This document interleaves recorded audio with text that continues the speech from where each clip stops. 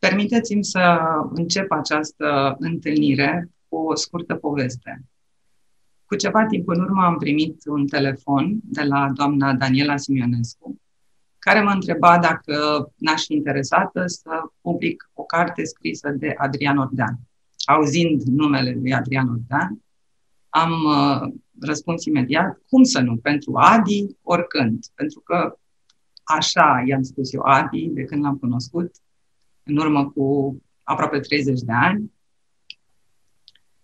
Um, doamna Simionescu a continuat uh, firesc și logic. Uh, vă rog să-mi dați o adresă de e-mail ca să vă transmit uh, manuscrisul, să-l citiți. Am spus da, bineînțeles o să vă transmit, o să vă ofer această adresă de e-mail, dar vă rog să-i transmiteți lui Adi că răspunsul meu este afirmativ oricum, dinainte de a fi citit carte. Nu am făcut această afirmație niciodată în viața mea. Nu mi-am luat un asemenea angajament niciodată. Dar nu am fost surprinsă de felul în care au țâșnit aceste cuvinte, pentru că era un adevăr. Adevărul țâșnește.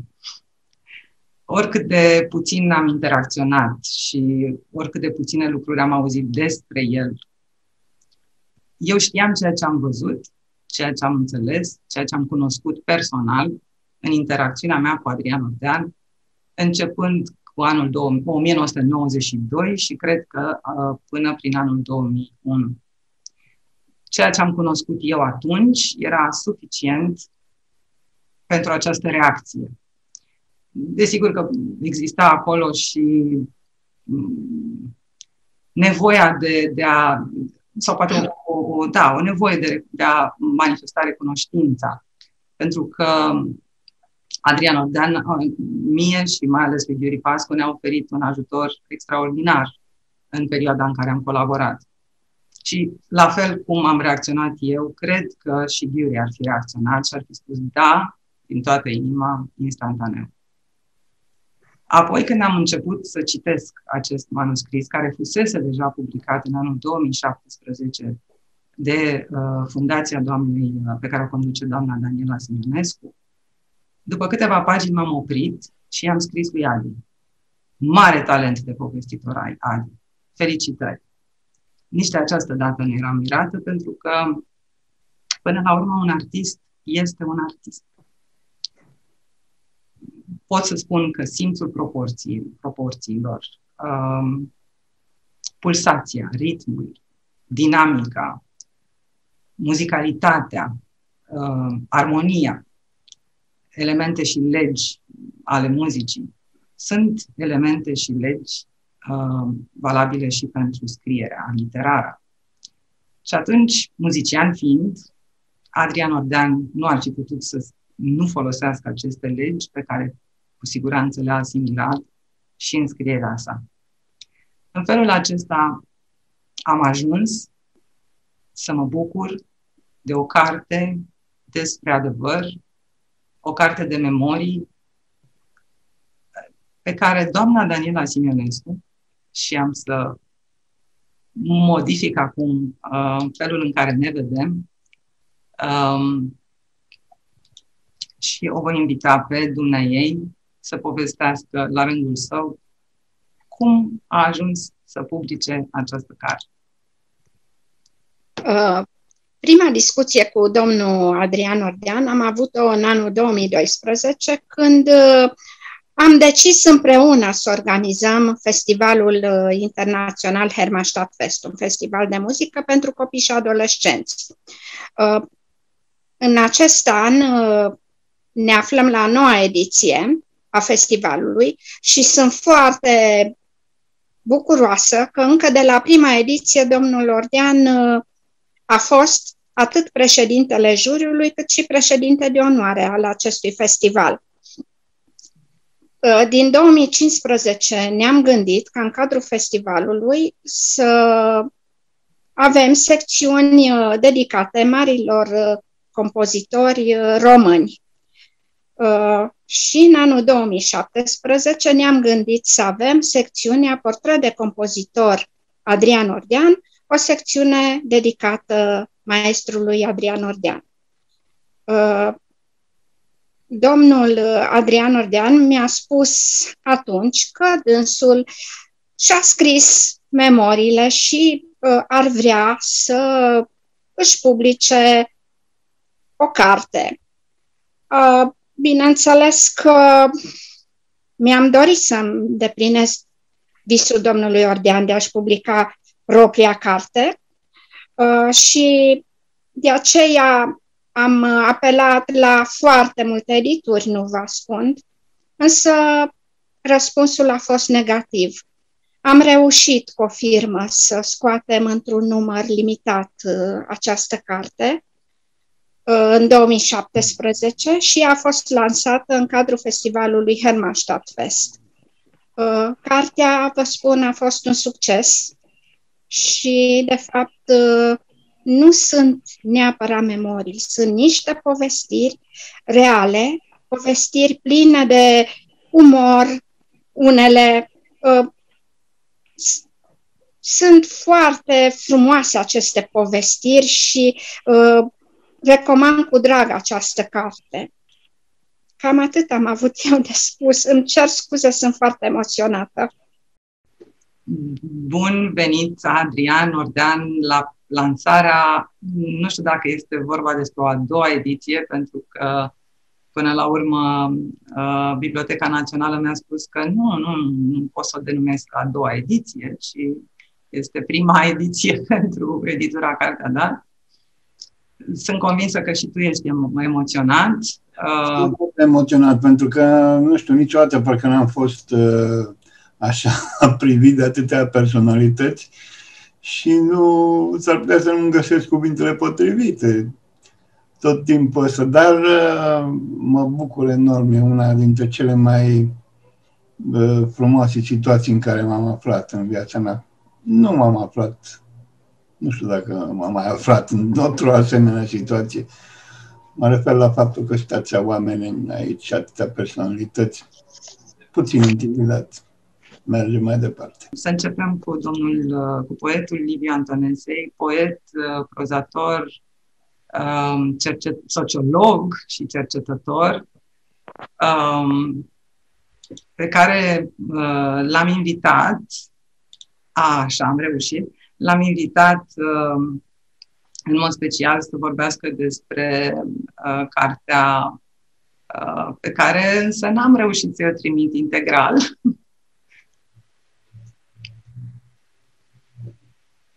Bună ziua tuturor! Sunt bucuros să mă aflu în această companie foarte plăcută și cumva eu sunt reprezentantul publicului. Ceilalți invitați fiind legați direct de interpretarea muzicală, de compoziție și de, de promovare și de interpretare. Și mulțumesc Danielei că mi-a creat uh, condiții speciale de a putea citi cartea. În perioada aceasta eu nu, nu am chiar o vedere de șoim, așa că mi-a trimis uh, un print cu litere mai mari. Îi mulțumesc foarte mult. Deci, întâlnirea mea cu muzica nouă a avut loc foarte devreme, cam pe la 10 ani, în 63, datorită unor verde ai mei care m-au băgat pe Radio Luxemburg și care aveau un magnetofon încropit, ca să zic așa. Iar cu muzica lui Adrian Iordan m-am întâlnit poate acum peste 50 de ani și l-am ascultat în toate formațiile. La început, sigur, ca interpret, după aceea aveam să aflu că este și compozitor și l-am urmărit cu, cu mare atenție. Surpriza mea a fost zilele trecute, când am primit cartea și am citit-o cu o plăcere extraordinară. Bun, e adevărat, eu sunt cititor de memorii, sunt cititor de jurnale ale artiștilor, scriitori, pictori, muzicieni și așa mai departe. Pentru că eu cred că în spatele unui, unui produs artistic se află un creator, un om care a făcut acel produs artistic și omul acela pe mine mă interesează. Din muzică am mai citit memoriile lui Covaci, memoriile lui Camot, cam tot ce a apărut am citit. Spunea o antevorbitoare că nu sunt memorii o colecție de povestiri. Așa este. Sunt niște memorii anumiet, cum, ar, cum spunea Ionesco despre jurnalul său. Deci acele memorii se alcătuiesc ca un puzzle, dintr-o mulțime de, de fațete. Sunt scrise extraordinar de bine, ceea ce mă bucură, că eu sunt în primul rând scriitor, ca să spun așa. Dar am aflat și o mulțime de lucruri care privesc melomanul din mine. De pildă, am fost dintre cei care am salutat entuziast apariția conservării digitale a muzicii. Dar nu știam, sau dacă știam, n-am băgat atunci în seamnă că Adrian Ordean a fost dintre pionerii acestei mari, mari, mari descoperiri, pentru că, practic, în momentul de față, muzica poate fi conservată la infinit. Și nu numai asta. Au fost remasterizate o mulțime de înregistrări vechi, analogice, deteriorate de vreme. Acum sună de, de parcă ai fi în sala de concert sau în studio de înregistrări din anii 20-30 din Statele Unite, că asculți uh, blues, uh, ca să dau un exemplu. Uh, eu cred că acest tip de cărți este foarte necesar. Nu numai pentru cei care citesc ca mine de plăcere, dar și pentru cei care vor să afle niște lucruri privind creatorii și eu spun că pot fi și niște mijloace de formare, pentru că cei mai tineri văd moduri de a reuși în viață, moduri de a face ceva în viață. E, și iarăși interesant că deosebit de alte memorii pe, de muzicieni, de artiști pe care l-am citit, nu sunt bârfe.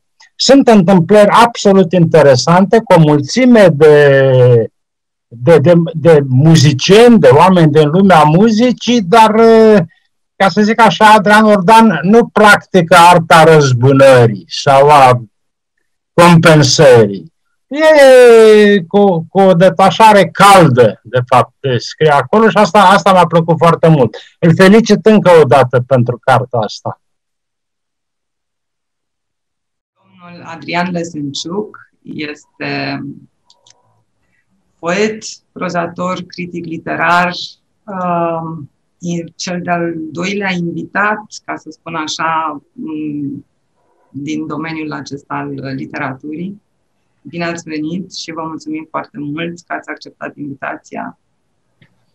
Bună ziua! Eu sunt uh, onorat și în egală măsură uh, mă simt uh, în ipostaza celui care ar trebui să fie smerit și să asculte, pentru că probabil locul meu e, e acesta, în primul și în primul rând. Uh, sunt uh, un om care l-a admirat de când am descoperit muzica pe Adrian Ordean. Uh, sunt un om care face parte din public, asemenea domnului Liviu Antonesei, care s-a bucurat de muzica pe care ne-a ne-a adus-o, ne-a oferit-o domnul Adrian Ordean și mai mult de atât, uh, care s-a bucurat și se bucură acum de existența acestei bijuterii, care e lucrarea autobiografică a domnului Adrian Ordean. Avem nevoie de aceste lucrări autobiografice. Am scris deja, am citit dintr-o răsuflare carte, am scris deja despre ea și urmează să public textul pe care l-am scris despre, despre această carte. E neapărat nevoie pentru că numele canonice ale muzicii uh, rock Uh, și nu numai, sunt cele care se bucură de biografii sau autobiografii în uh, ceea ce privește peisajul autohton. Uh, această autobiografie era necesară printr-o astfel de deschidere și mai ales că vine din partea unei personalități. Ceea ce vreau să spun și probabil că e important să subliniez acest lucru e că lectura este extraordinar de, de, de ușor de făcut, dar nu pentru că vorbim despre o poziționare la suprafața textului, ci pentru că există cel puțin două registre pe care le propune Adrian Ordean. În primul rând vorbim despre o lectură de suprafață care are anumite repere factuale și la care ne putem raporta în mod firesc, dar apoi există o Uh, coborâre în adâncimile de la care uh, domnia sa reușește să privească, să, să poziționeze corect cultura română în ansamblu, să găsească elementele prin care anumite generații alunecă înspre o formă de superficialitate și de multe ori această superficialitate necorectată chiar de generațiile mai vechi conduce la o împământenire a unor obiceiuri prin urmare, pentru mine această carte este în primul rând o carte de învățătură, o carte în care am pătruns cu toată deschiderea și cu tot respectul pe care l-am pentru monștrii sacri ai muzicii rock românești. Și, pe de altă parte, este o carte care mă bucură o dată în plus, dar fiind faptul că sunt din Brașov, că într-un fel reprezint, uh, sunt uh, oarecum gazda acestui festival organizat de Brașov, Lipfest, și sunt onorat să fiu în uh, compania unor personalități, a unor nume canonice ale muzicii românești, ale literaturii române. Vă mulțumesc pentru această oportunitate, doamna Daniela Mari. Eu vă mulțumesc foarte mult în cadrul, m-am bucurat foarte mult să pot organiza aceast, acest eveniment, această lansare în cadrul Festivalului de Carte uh, Lipfest. Este o mare bucurie să fie din nou Adrian Ordean la Brașov, nu de alta, dar veți descoperi în cartea asta uh, multe povești legate de uh, orașul Brașov. Um, în continuare, cred că trebuie să mergem uh, la domnul Mihai Godoroja. Bună dimineața, aveți frumos și Lene Coțânzene. Uh, pot să spun că uh, nu numai că sunt onorat, dar sunt bucuros să ajungem în 2021 și să vorbim despre Adi Ordean. Publicul care o să vadă această transmisie, căci lui este destinată, Uh, trebuie să știe că, în afară de faptul că este un compozitor foarte celebru și că uh, a fost, uh, dacă vreți, unul dintre uh, artizanii noului sound al formației compact, el este, poate, în primul rând, un artist special și un gitarist formidabil. Formațiile din care a făcut el parte, în care aș cita, poate, roșu și negru, așa, Uh, fără să spun lista completă, creonează o biografie uh, absolut excepțională. Uh, pentru un muzician tânăr care uh, vrea să cânte rock sau, hai să zicem, vrea să cânte cu gitara în România, are nevoie să știe de câteva nume din spatele lui pe care se poate baza, așa cum un violonist de clasică uh, vrea să știe care sunt românii care au făcut să voiască lumea. E bine, unul dintre personajele care fac parte din Cartea de Aur a muzicii rock din România este Adrian Ordean. Uh, eu am avut șansa, hai să spun că este o memorabilă șansă, să realizez prin anii 90 un spectacol de blues la sala radio, împreună cu Sorin Chifiriuc și uh, țin minte și acum că uh, i-am dat un telefon lui Adrian Ordean propunându-i să facem o seară cu piese de la Peter Green. Un, dacă vrei, un job artistic total ieșit din spectrul preocupărilor lui zilnice și uh, eram cu Ghiuri în sală, pentru că a cântat și Ghiuri Pascu în seara aceea. Eram cu Ghiuri în sală la soundcheck Uh, Chifiriu a coborât de pe scenă, a venit lângă noi ce vreau să ascult și eu, acompania Adrian Ordean și uh, foarte mirat a ridicat, de ce ați plecat de pe scenă? Veniți încoace să terminăm piesa. Și uh, m-am ridicat și am zis, cred că ăsta este momentul la care să ne lași să ascultăm și noi o muzică bună. A râs cu o modestie formidabilă, a continuat să cânte, a venit seara de concert, și la finalul, finalul acestui recital uh, era un recital inventat de mine ca nume, s-a numit Elected Death Rooster. În momentul când s-a dus la rampa Adrian să salute publicul, s-a ridicat o sală în picioare.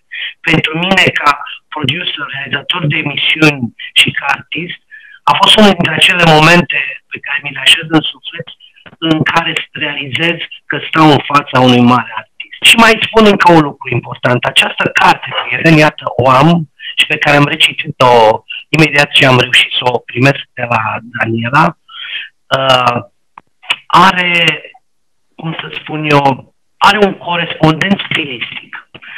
Uh, există o carte a lui Keith Richards care se numește Viață, simplu, Viață, Life, pe care am citit-o într-un weekend, fene răsuflate.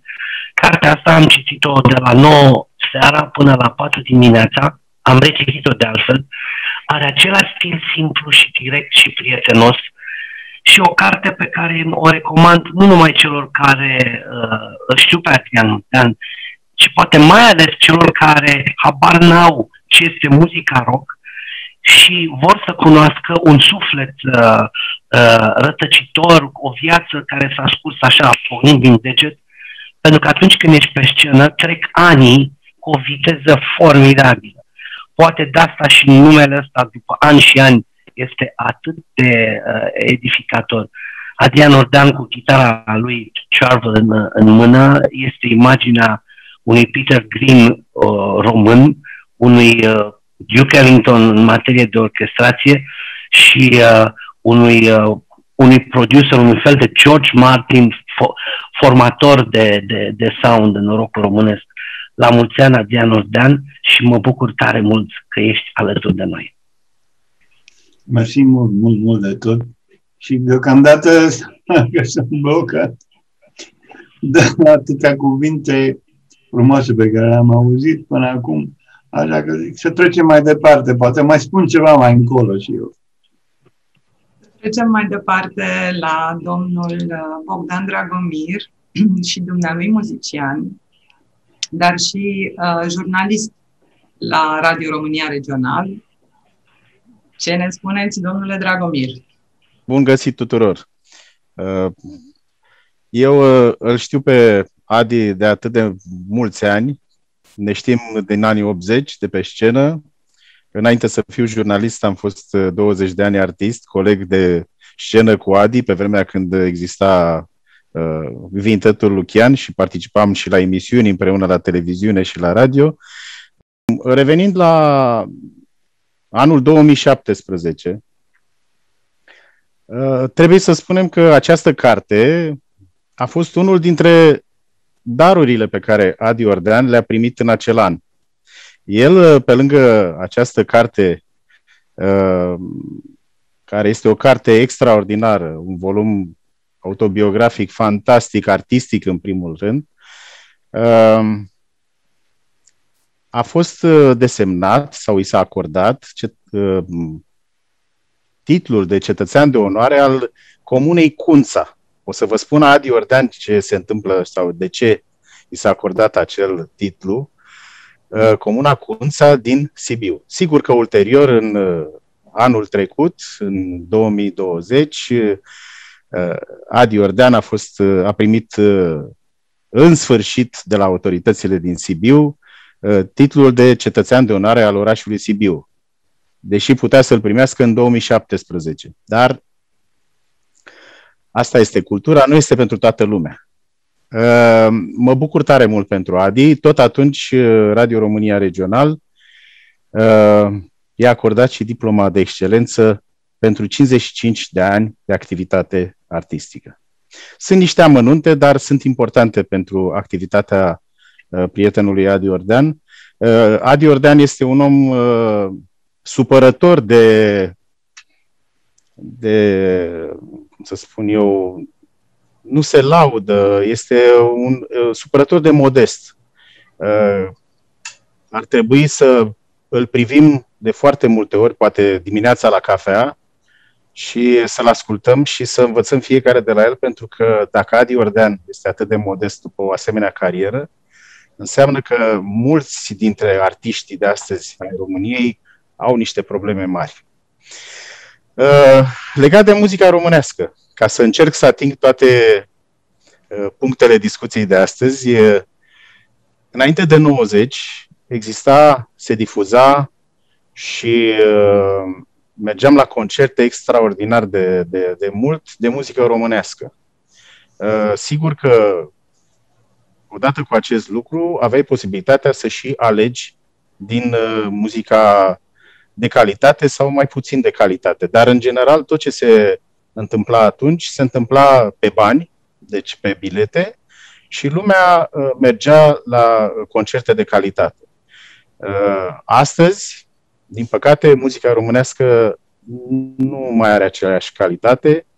Astăzi, uh, banul primează, dar nu se vede la față, se vede în interior și așa mai departe. Îmi pare rău Uh, că nu suntem la nivelul uh, Franței, nici la difuzări pe radio și televiziune, nici la uh, în ceea ce privește uh, uh, calitatea muzicii și prezentarea în, uh, în show-urile de mass media și de show-urile de, de entertainment.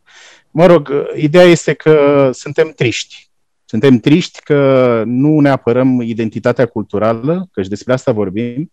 Un popor fără cultură și fără uh, artă este un popor care mai devreme sau mai târziu va dispărea înghițit de alții.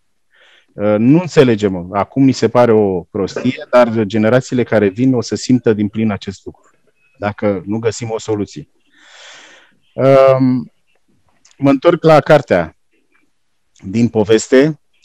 Uh, sunt un pic necăjit aici pe Adi, pentru că n-a scris decât una.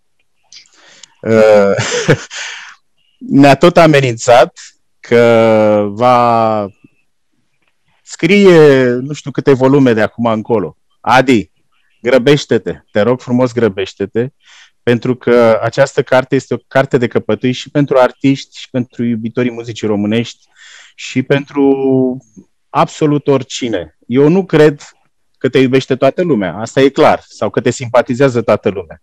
Dar dacă această carte s-ar edita într-un tiraj mare, eu cred că măcar de curiozitate și cei care nu te iubesc și nu te plac ar cumpăra-o să vadă ce scrie ăsta acolo în cartea. Deci, nu, nu vreau să spun acum despre ce povestiri și ce sunt convins și toată lumea știe că artiștii în general sunt o enciclopedie de întâmplări și de istorii și de tot ce vrei. Dar este foarte interesant și foarte frumos să vadă și să citească lumea ce se întâmplă în spatele scenei, așa cum spuneai tu. Ce se întâmplă în spatele scenei și uh, cum e viața artistului dincolo de scenă, pe scenă și dincolo de scenă. Este foarte important să, să înțelegem puțin ce se întâmplă în uh, showbizul românesc. Mersi, Bogdan.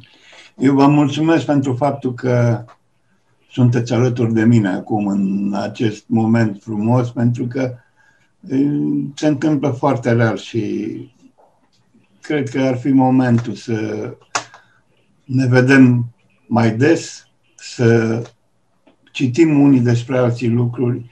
Eu am, cu ocazia acestei lansări, am început să, sigur, să mă mai interesez de anumite lucruri, să mă interesez despre invitații uh, din această zi. Și am, sigur că am aflat lucruri extraordinare. Acum îmi reproșez faptul că nu am fost mai atent pe parcursul timpului, pe anii au trecut atât de repede, am avut impresia că am atât de multă treabă serioasă și am neglijat câteva lucruri.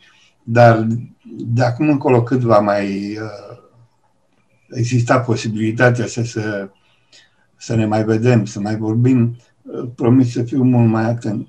Nu numai cu dumneavoastră, cei care sunteți invitați, cu toată lumea. Așa ca și când aș termina un cântec, uh, și aici în carte am scris o codă. Coda e un termen muzical, de obicei îl folosim la finalul cântecului. Acum, la finalul cărții, am spus câteva cuvinte, cred că sunt cele mai bune, sau e cel mai bun pasaj de citit acum. O să vi-l citesc și lecturez cu ocazia asta. Deci coda mea spune așa, am încercat să creez prin vorbe o imagine a ultimilor 50 de ani în care am făcut muzică, o panoramare acestei jumătăți de veac petrecută în preajma artiștilor. Punct de pornire 1961. Mai departe doar timpul știe, pentru că timpul guvernează totul.